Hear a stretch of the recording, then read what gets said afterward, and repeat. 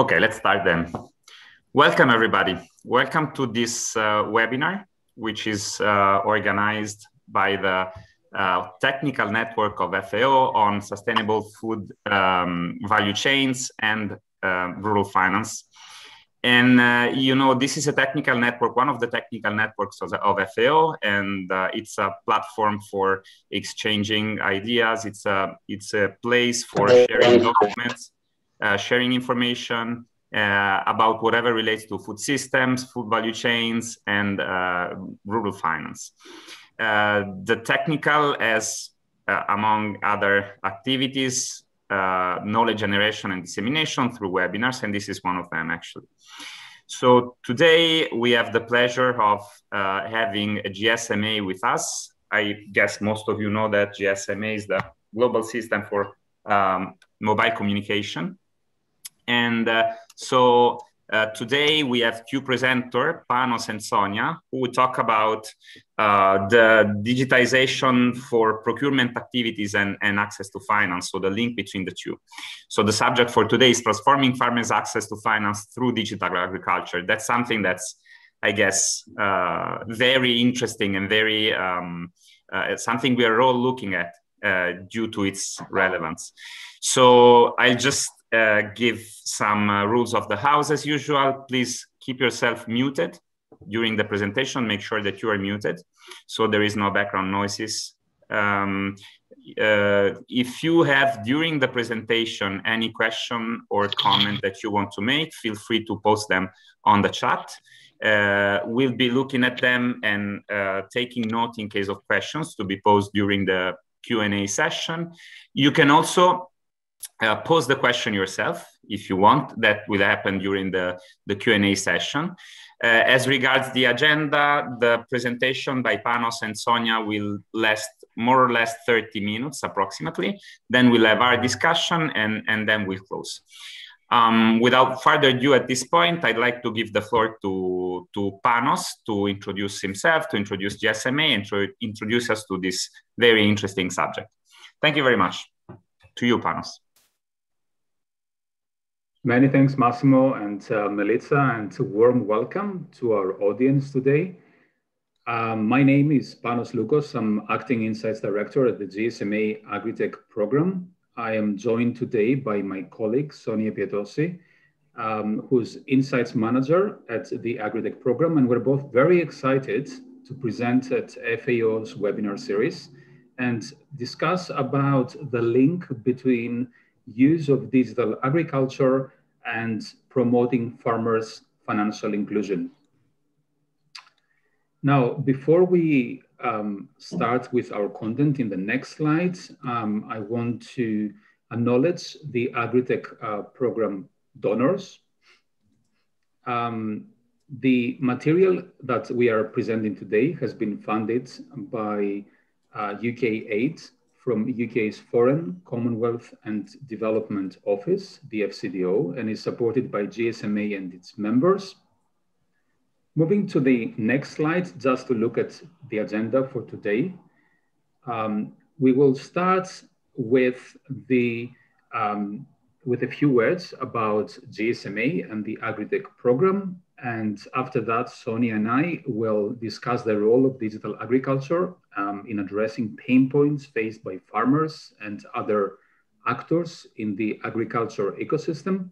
And uh, we will make the connection between digital agriculture and promoting farmers' financial inclusion.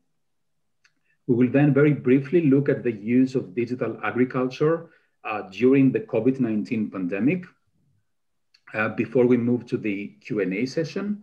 Uh, and before closing today's webinar, we will just spend a few minutes to present the key conclusions um, from today's presentation and also to direct you to a set of relevant GSMA publications uh, that are publicly um, accessible on the GSMA Agritech program webpage.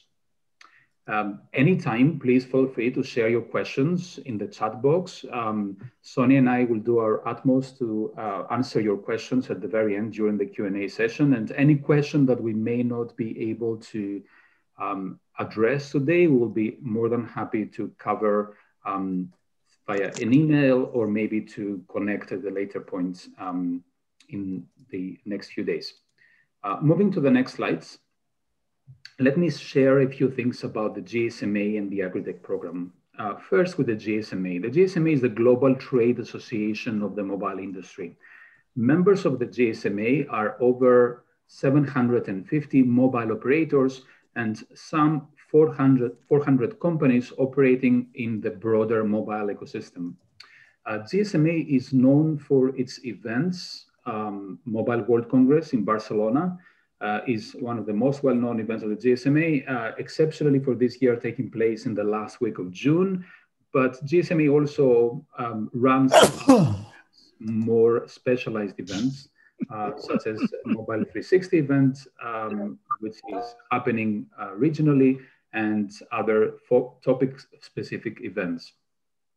Within the GSMA, there is a um, not-for-profit unit uh, of the organization, which is called Mobile for Development. And Mobile for Development is positioned at the intersection of the mobile ecosystem and the development sector to stimulate digital innovation and deliver both sustainable business models and large scale socioeconomic impacts uh, for the underserved. The work that Mobile for Development does is funded by donors. Uh, within Mobile for Development, there is a number of programs, and the AgriTech program is one of these programs.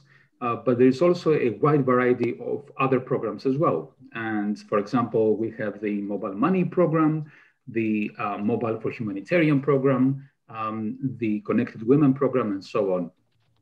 Uh, specifically for the AgriTech program, uh, the work that the program does is funded by UK's FCDO, um, the UK government. We also receive funding from Australia's DFAT, Department of Foreign Affairs and Trade. Uh, we've had funding recently, very recently, from the Inter-American Development Bank, and we're about to actually announce a new initiative from funding uh, with funding from new donors, um, which is uh, going to become go public very, very soon. Um, the vision of the program is to support equitable and sustainable food chains that empower farmers and strengthen local economies. In a humanitarian crisis, so we had to put that because. Uh, can I ask? Thanks. Can I ask everybody to mute your mic? Thank you. Thank you, everybody. Um, so to deliver on the vision of the program, um, we bring together and support the mobile industry, agricultural sector stakeholders, such as agribusinesses and cooperatives, innovators, such as agri-tech organizations and investors operating in the agri-tech space, uh, to launch, improve, and scale impactful and commercially sustainable digital agriculture solutions for farmers. And the farmer that we have um, in our focus uh, is the very the farmer at the very bottom of the pyramid, the farmer who lives in less than two dollars per day. Um, to deliver on the vision that I mentioned just now, um, we are engaged in a number of activities you, that you can see on the right-hand side of this slide in the circles. Um, through our research and insights work, we inform the donor and investor communities, um, as well as the service providers themselves, mobile operators or agri-tech organizations, on the operational and business models that have the highest potential for success, commercial sustainability, and socioeconomic impact. And we produce a lot of um, a vast body of insights, and we publish all this as a public good on our website. So um, we will mention some of this at the very end of today's webinar, but there is a lot more available on in the resources page of the GSMA AgriTech program. And another important part of our work is innovation funds and technical assistance. Uh, by providing funding uh, to organizations uh, to and technical assistance to them, we support scalable and commercially viable models, and um, we um, aim to uh, support and deliver benefits uh, to sector stakeholders, including farmers, of course. And naturally, we also facilitate partnerships and synergies and um, collaborations between those different parties that I just mentioned.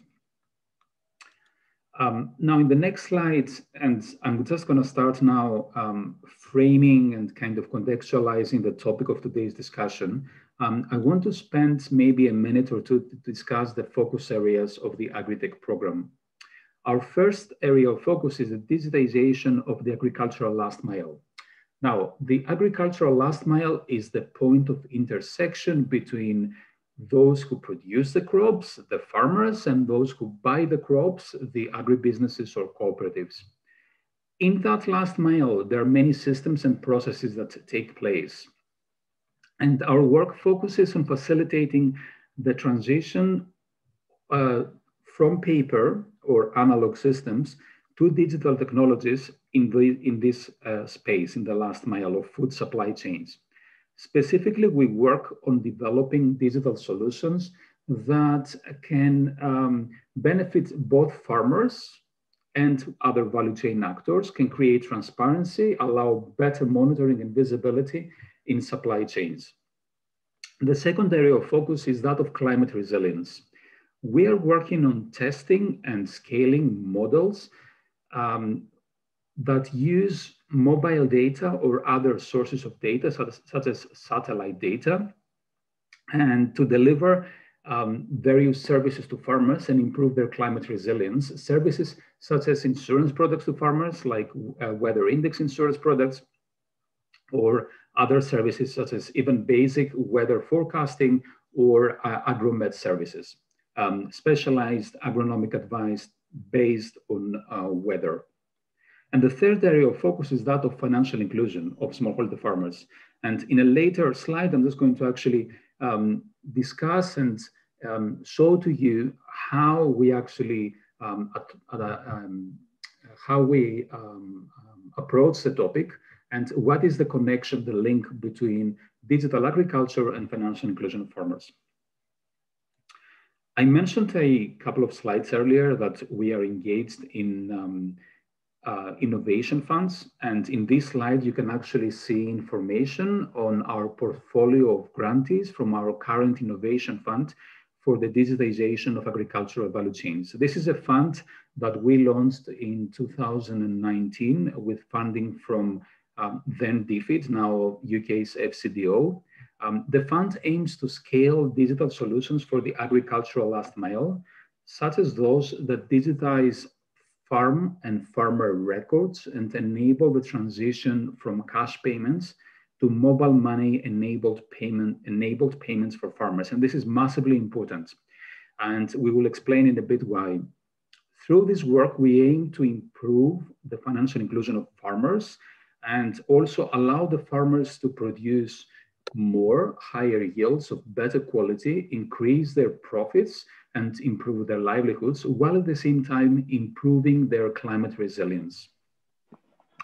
This is a global fund. Uh, we have allocated grants of um, 220,000 pounds to seven organizations, four of them operating in sub-Saharan Africa, two in South Asia, and one in Southeast Asia.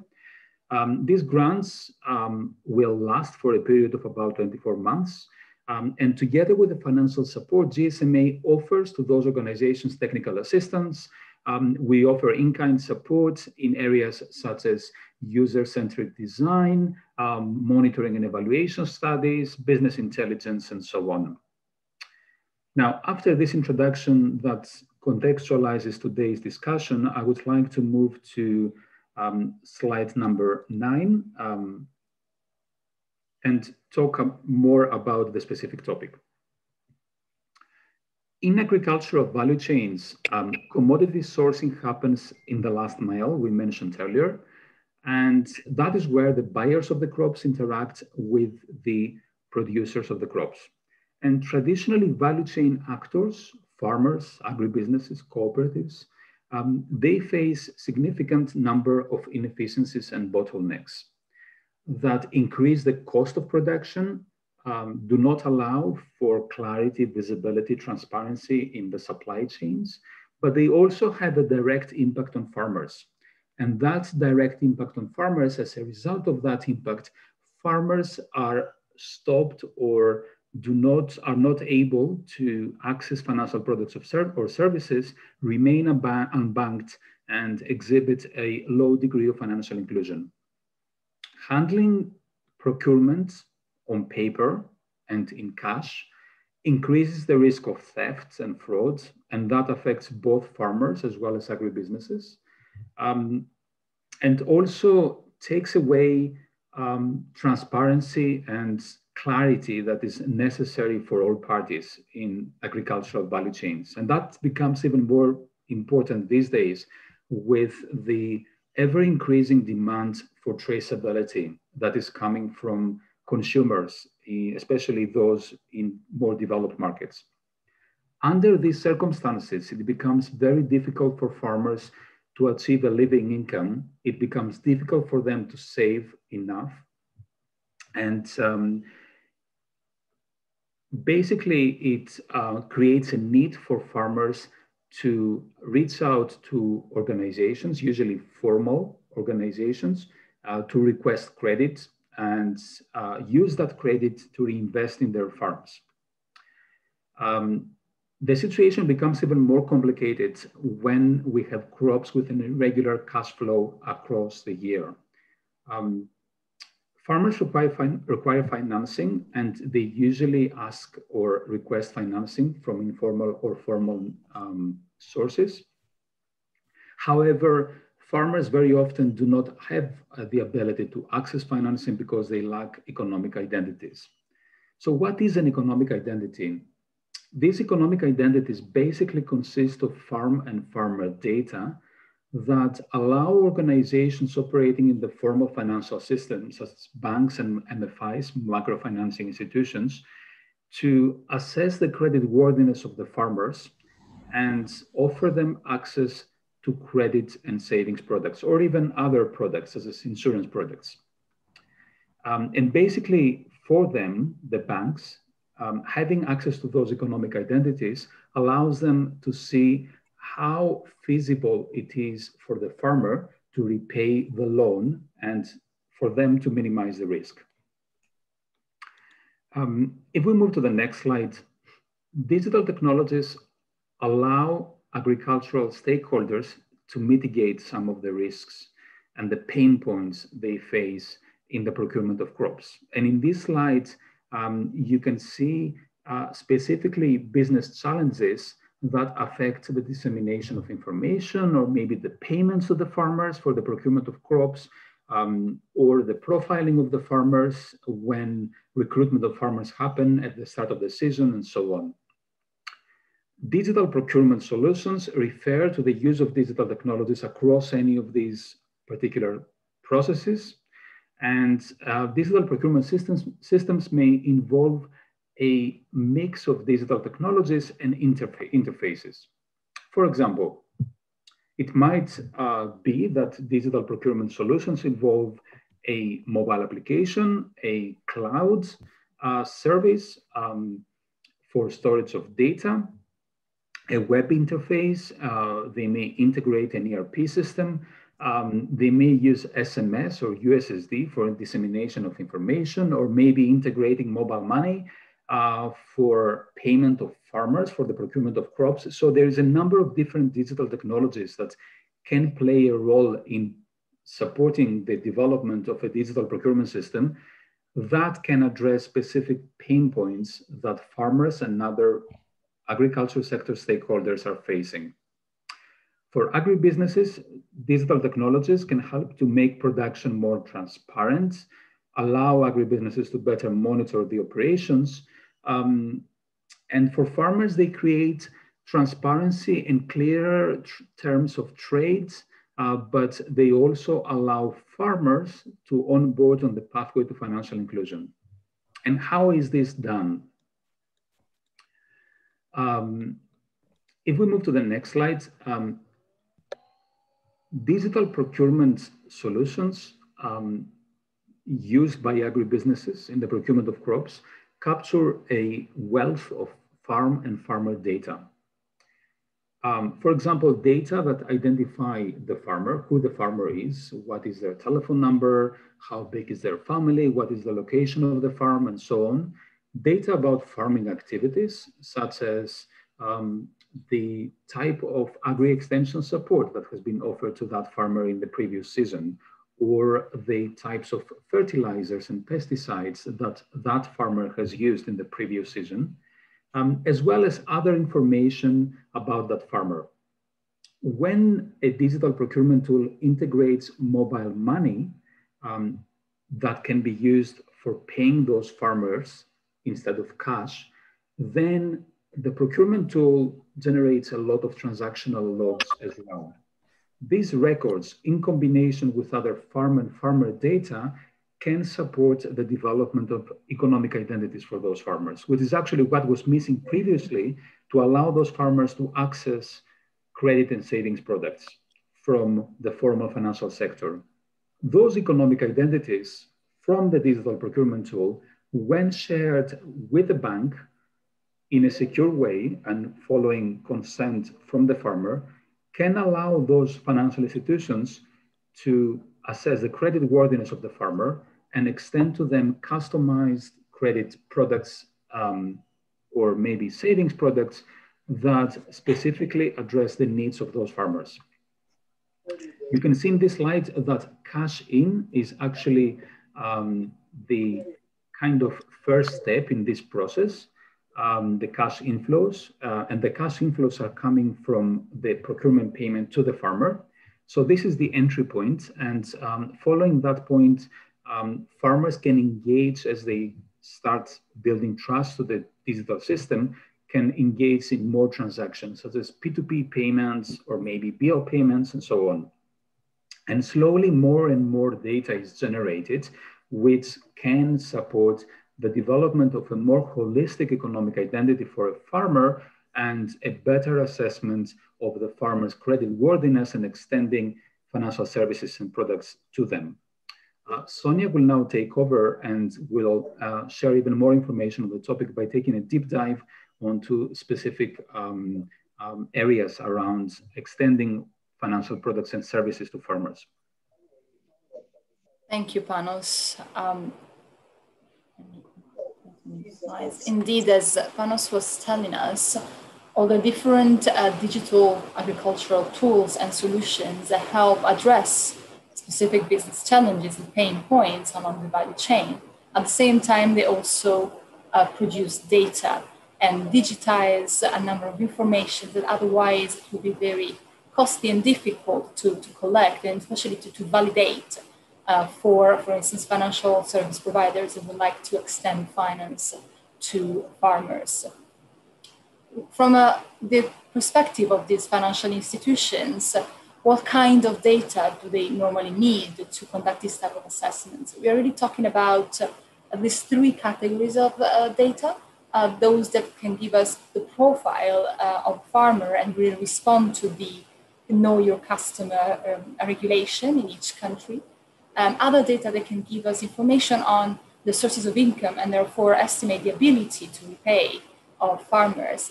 And then those that can help in loss mitigation and therefore also start um, replacing the need for potential collateral. Indeed, when we talk about these data driven credit products, usually we're talking about um, unsecure products, so products that do not need collateral.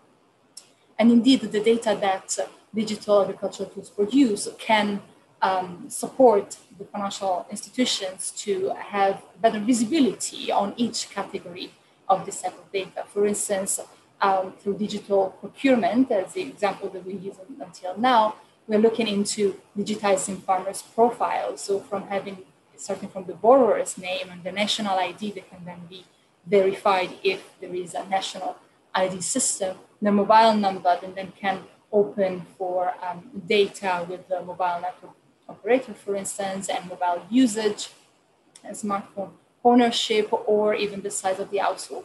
But also then farm activities and information, the size of the land, the ownership of the land as well, but also the mix of crops, for instance, to see also um, what kind of cycles need to be, crop cycles need to be uh, taken into consideration uh, for that specific farmer.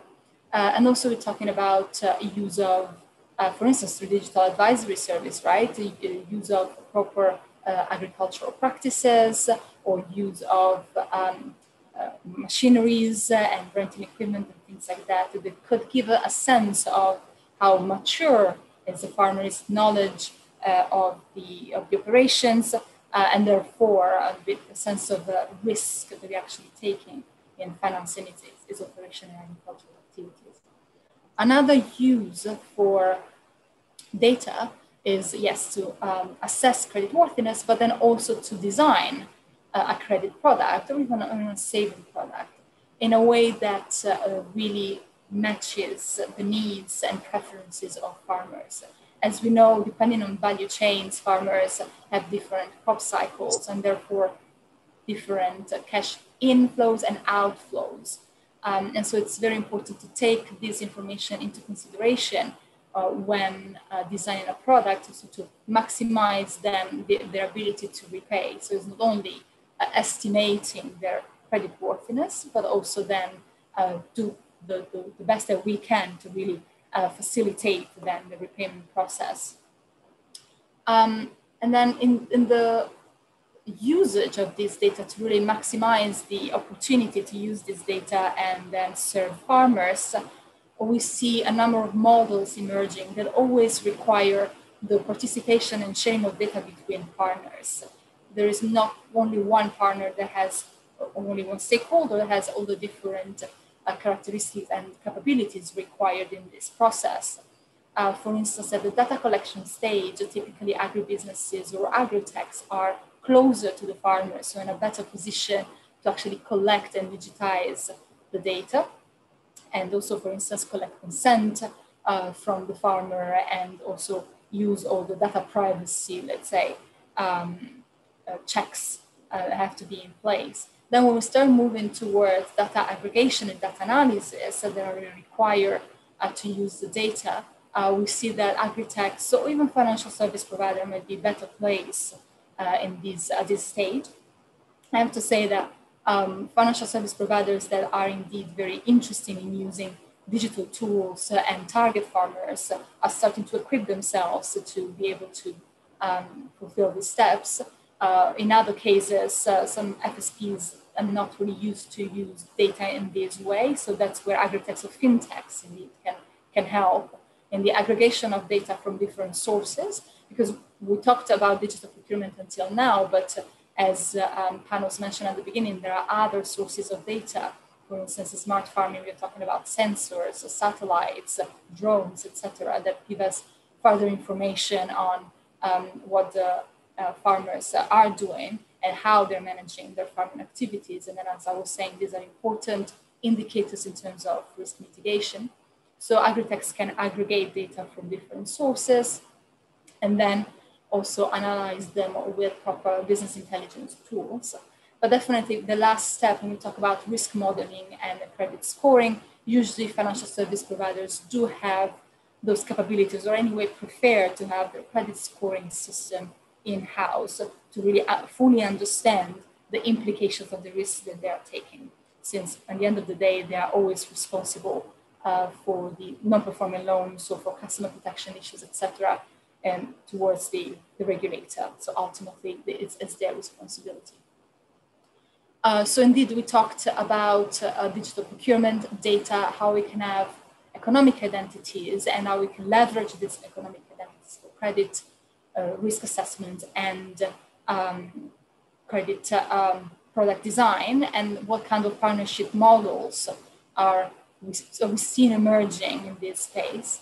And now we can talk quickly about uh, the use of digital agricultural tools during the COVID-19 pandemic.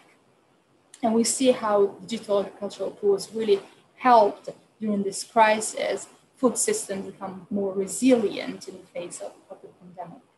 Um, as we said, um, as already hinted through the presentation, digital procurement is only one of several use cases in a very digital agricultural landscape. Uh, our program, GSMA AgriTech, has categorized these digital agricultural tools in uh, three macro uh, categories, depending on the uh, challenge and the service they're providing um, to the farmers, to challenge that they are addressing.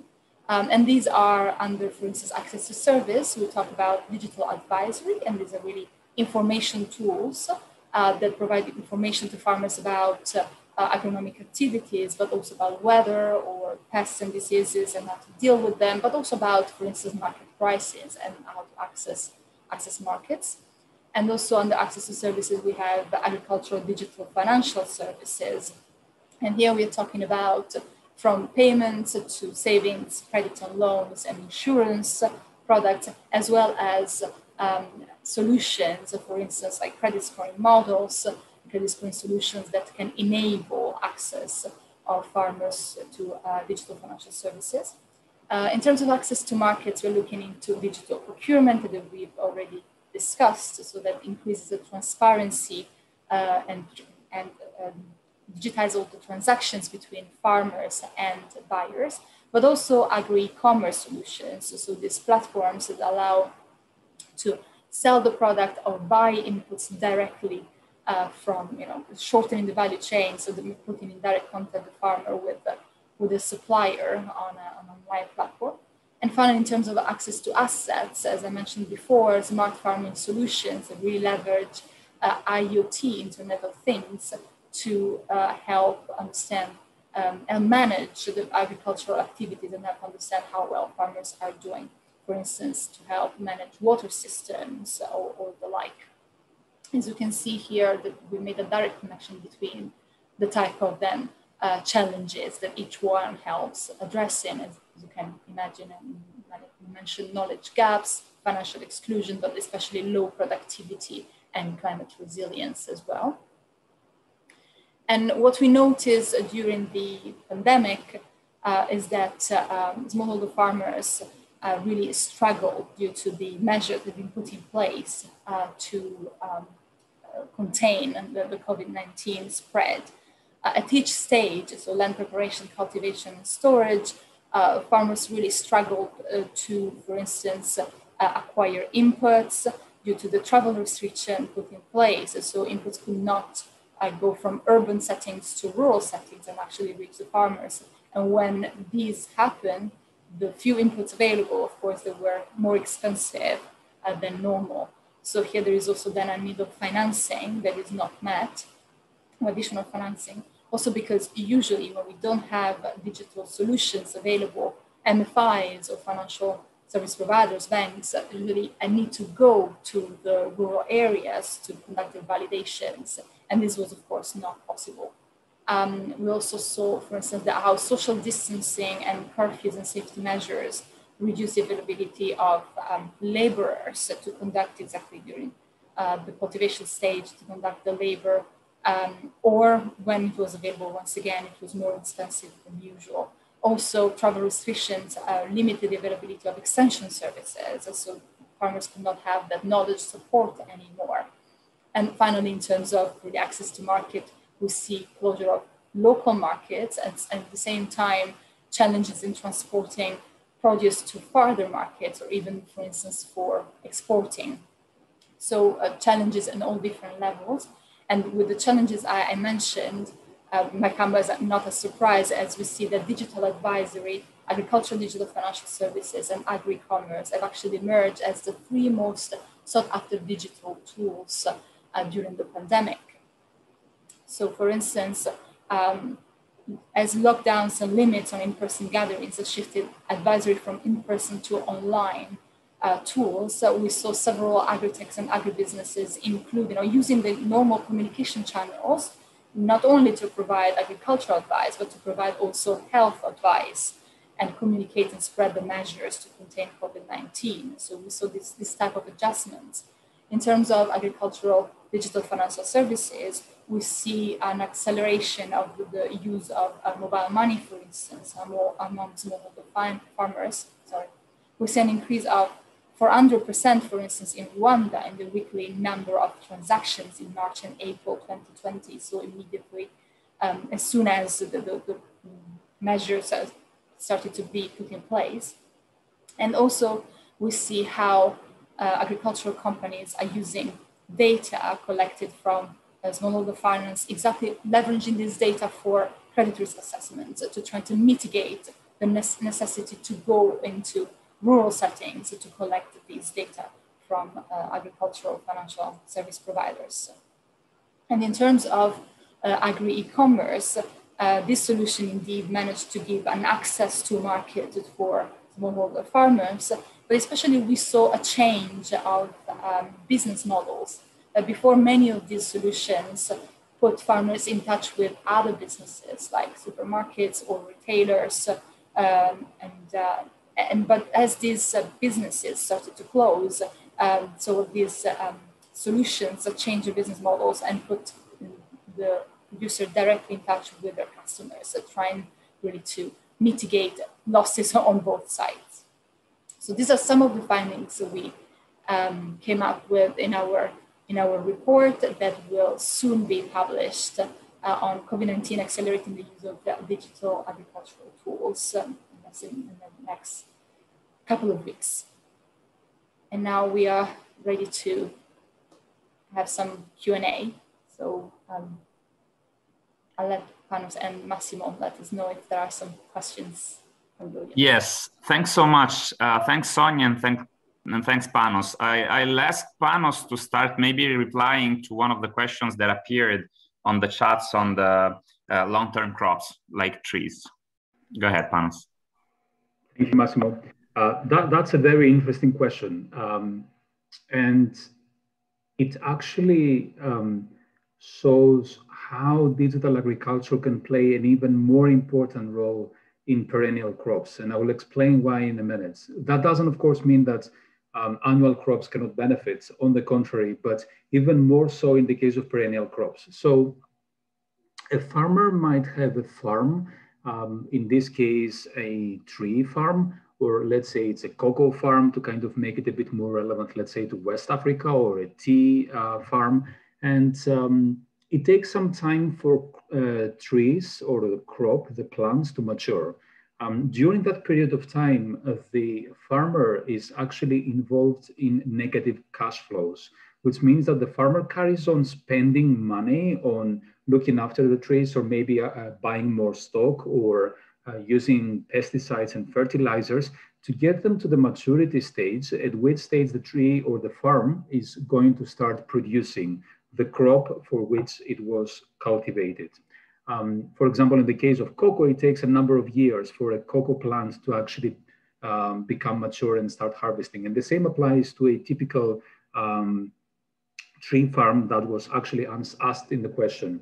For that farmer, it is crucial to be able um, to carry on financing their operations and um, having access to the right credit solutions that will allow them to, um, for example, um, replace some of the trees, uh, trees that may be aging or buy some more higher value, higher value items or higher value expenses that are required for the looking after of that farm. And um, of course, for access to finance, uh, the farmer can actually go to informal sources, and that might be people in the community, the family. Often unlikely for them to have enough savings to support this farmer, especially with high value items.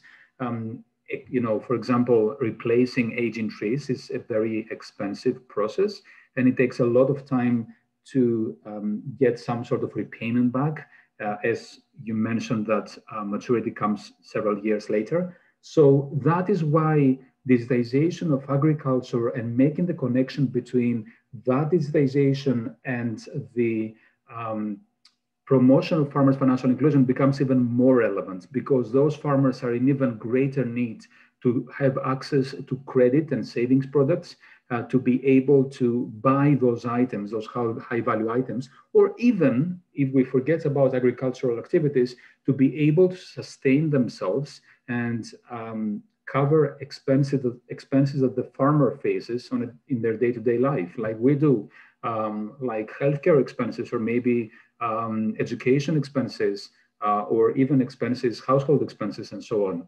So even more so in perennial crops, this need is actually there. This needs to identify sustainable sources of financing for farmers and allow those farmers, previously unbanked farmers, to gain access to customized products and services um, that um, are aligned with the crop life cycle.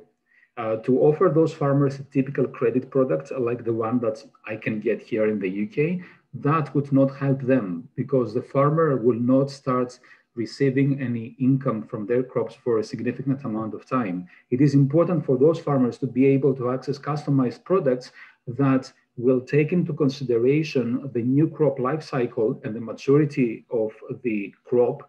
And basically, I'm referring to the cash inflows and outflows uh, so that they will have the best chances of um, repaying that loan in the future. Great. Thanks, Panos. What a comprehensive uh, answer. Thank you very much. We have a couple of additional questions from the chat. One is from Pedro, who is asking whether do you see digital solutions evolving around one-stop shops to be supported or by supporting a constellation of startups? That's one. Let me read you the following one so you can uh, reply to both.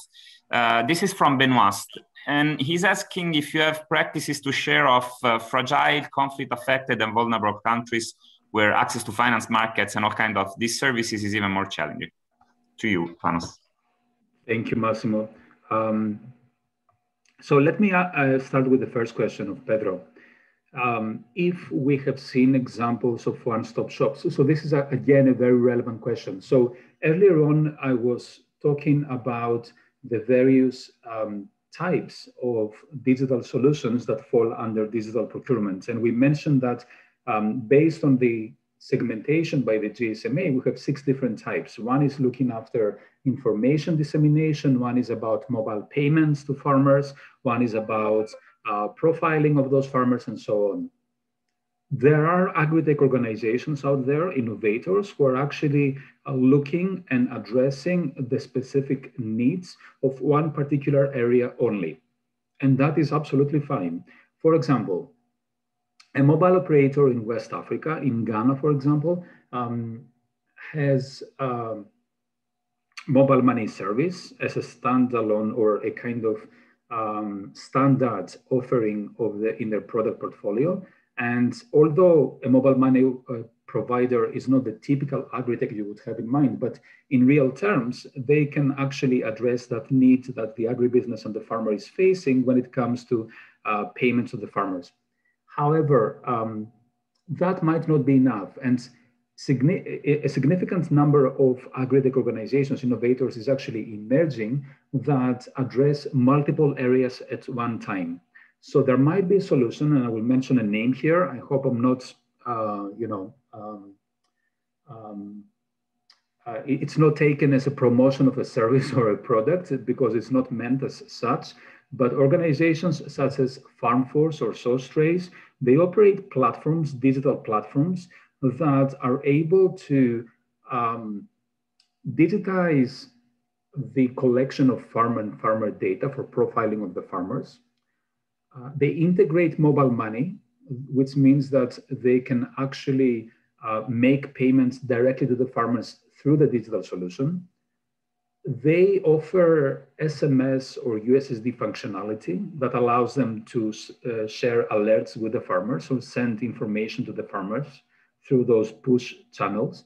So they integrate a number of different functionalities and they are becoming a one-stop shop that allows um, addressing multiple challenges at the same time from a single solution. And I think that is where we're going to, and several organizations are already doing that, especially organizations that have um, reached, reached some level of maturity and um, are um, you know, present in more markets and having more clients across regions and countries. Um, now, the next question I was wondering whether you have any, uh, Sonia, I was wondering whether you have any specific example from any of the markets um, that we have researched with, researched with um, um, you know, um, information about credit and savings products, markets that are um, more fragile than others. We don't have any particular research done specifically for FCV markets. However, many of the markets that we um, cover with our research uh, do fall under this, if you like, categorization. Uh, so Sonia might have some examples from there. If not, please let me know and I can answer that question. Actually, Panos, I was uh, thinking about uh, Myanmar, which I, I would think it would fall under this categorization, definitely, isn't it? We, we studied the market, actually, Panos studied the market beginning of last year, if I'm, I'm not mistaken. And you can see how Myanmar, when was a more stable, uh, digital um, tools uh, were, um, let's say, booming, uh, the, the, spread of smartphones uh, and use of digital solutions. For instance, during my research, I was talking with the World Bank has been supporting BRAC to start exactly uh, experimenting with credit scoring using these uh, tools in, in Myanmar. Uh, in that case, um, we're talking about six month cycles. They were working, if I'm not mistaken, uh, around maize and this type of crops. Um, and at the third cycle, when they were going to uh, collect data, um, the COVID-19 hit. But more recently, we were actually reading about solutions that are experimenting challenges um, with the access of uh, internet. Apparently, this uh, security law that at the moment is drafted and might not, you know, come in, in, in yeah, into life uh, because of the current political situation. Um, so indeed, um, some of the countries where we're working uh, are also affected by uh, these, um, by also yeah, conflict and these type of problems. I don't know, Panos, if you, you know the Myanmar context quite well, if you want to say some more about that.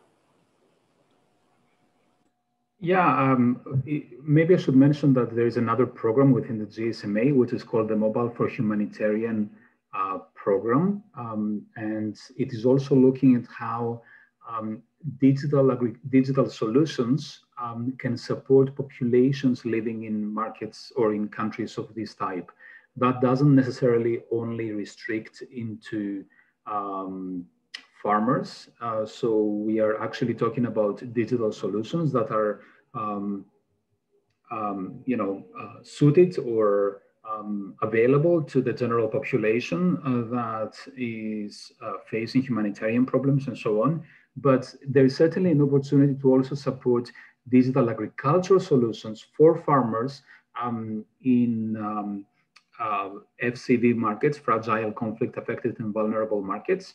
Um, and we've seen that in the case of Myanmar. Um, but and maybe I should also mention that there is a report, a state of the sector report that we published last September.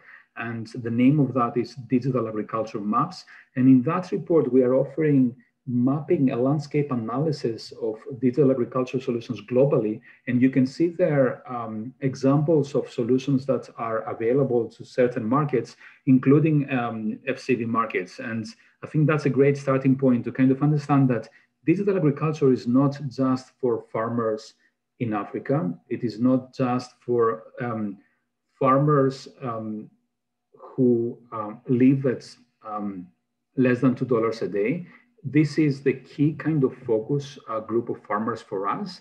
But even farmers in a bit in more developed markets, um, it is often the case that those farmers are, um, you know, uh, affected by the same challenges as other farmers. However, um, the general GDP per capita of those countries does not um, allow one to uh, understand the real complexities of value chains and the real problems that those farmers are facing. Only recently, I was actually talking about, um, maybe I should say that and then stop for the next question, but only recently I was actually um, talking to stakeholders in Latin America. And um, we were actually looking at the level of financial inclusion in Nicaragua versus uh, Ghana in real PPP terms. GDP per capita, sorry, not financial inclusion, the GDP per capita. And um, the GDP per capita in Nicaragua is slightly higher than that of Ghana. However, the rate of financial inclusion in Nicaragua is significantly lower than that of Ghana. So one would think that farmers in Nicaragua are better off, they have um, better conditions, they have access to more assets and services, um, they are not affected in the same way farmers in Ghana are affected. However, thanks to mobile money, in Ghana, more farmers have access to financial services and products um, enabled by mobile money than other farmers in Nicaragua. So um, the FCV markets are very important. However, um, I think that one can identify pain points and vulnerabilities even in markets that um, are not FCV markets or markets that you would not expect to find problems in previously. Okay, uh, thanks, Panos. We have seven minutes. I hope we can go a bit farther because we have one question from Henry, from Henry, very relevant, which I think you have already read and you replied to. I'd like also to read the other questions coming from uh, Jim because they're also very relevant.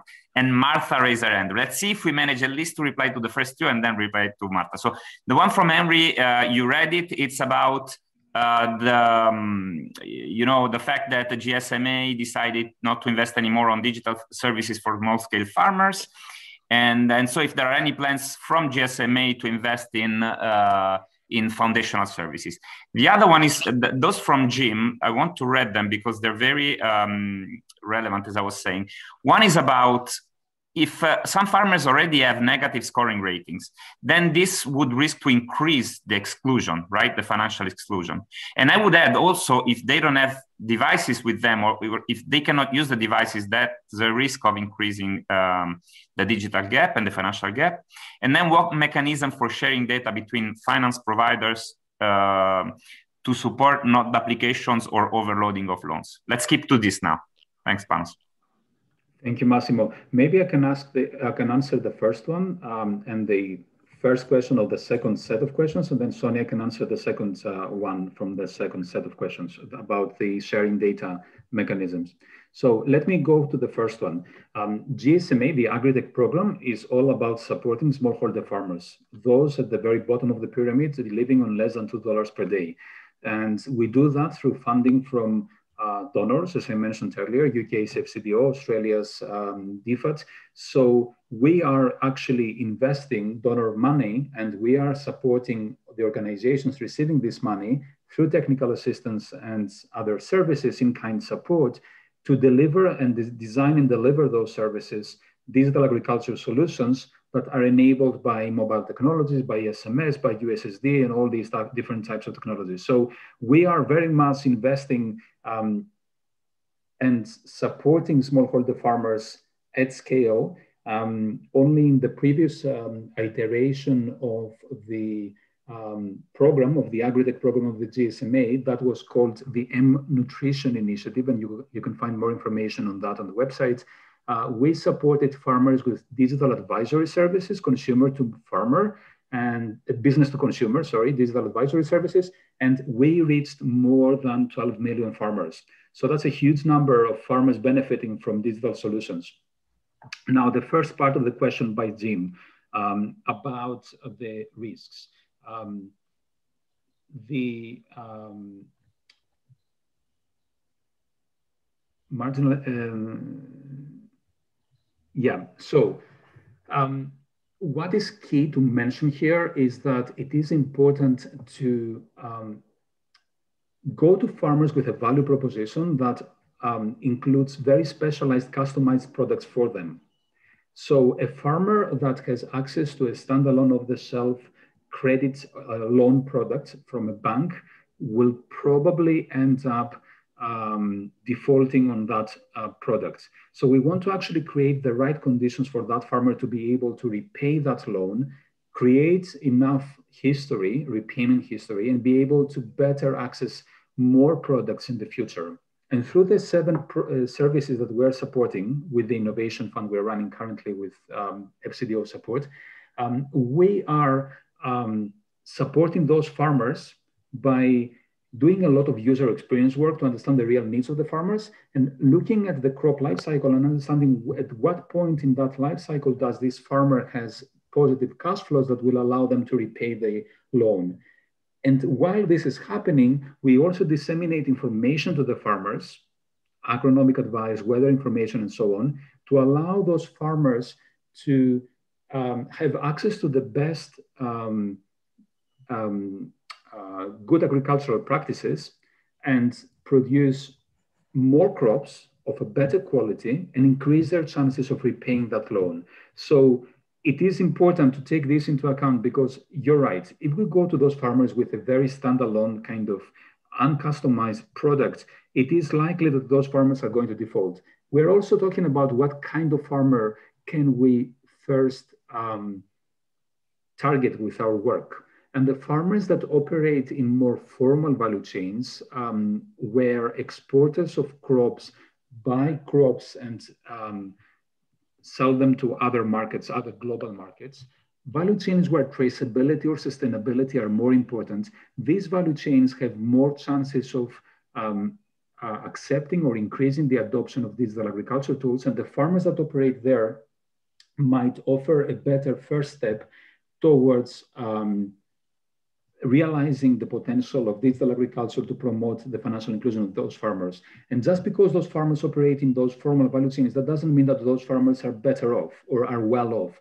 They're not. Those farmers are facing the same challenges as other farmers, maybe not to the same degree, but they're still farmers living in less than $2 per day, operating in formal value chains and selling, for example, cocoa or coffee or tea to big agri- agribusinesses exporting crops uh, to global markets.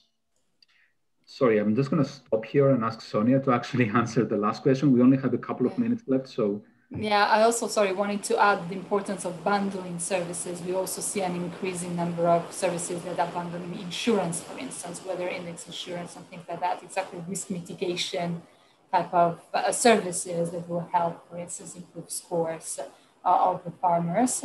And the other thing also I wanted to add, uh, Massimo, to your question about what if the farmer doesn't have access to digital. And that is why, as I was saying before, leveraging the um, key skill set and assets of the different farmers. That is why we see agribusinesses with their already field agents. You know, sometimes they have tablets and therefore collect the data for farmers, and many farmers don't even need to have uh, to access digital solutions or digital tools by themselves. Um, and we also saw different other types of um, solutions that can go around exactly this problem. Even agri-techs nowadays are creating their own field force exactly to overcome this problem. Um, in terms of ways for uh, was uh, yeah data sharing, um, this is definitely I think you are referring to uh, issues with like credit bureaus and and, and the like, and uh, indeed. I think that's why also uh, all the organizations that uh, um, offer financial services need to be regulated. We see a lot of agri-techs and fintechs that are currently experimenting with this type of solution, but definitely once they reach a certain scale, uh, they need to acquire a license and start reporting uh, their loans as well. Of course, in countries where I'm, I'm aware of countries where credit bureaus are not available, uh, this definitely needs to be needs to be addressed in, in other ways. But yeah regulators are, are definitely there and looking into this. Okay, thanks, Sonia. Thanks, Panos. Unfortunately, we have already uh, reached uh, our time limit, so I can't allow Martha to pose her question. And there were another couple of questions, one from Alphonse on access to market to help succeed in repayment of the loan. There was another one from Zhang which was close to the thing of privacy and utilization of data. I would invite you all to write to both Panos and Sonia at these uh, contacts that you see here for continuing this super interesting discussion. I would have had at least other five questions, suppose, but there, there's not enough time. Um, I'll take the chance to thank you all very much, thanking uh, specifically Panos and Sonia for their time and for this uh, very interesting information and uh, I hope they will share with us the publication as soon as is uh, uh, available so we can share it with our network. And again, feel free to connect and, and to write to the, the technical network, so to me and to Milica and uh, and also to to to Sonia and Panos for uh, going farther in going further in this um, in this uh, topic, which is super interesting. Uh, thank you very much all. I would like to ask Milica also to post on the chat the contacts for the technical network so everybody can see it. Those who have not joined the network yet, please, uh, please do.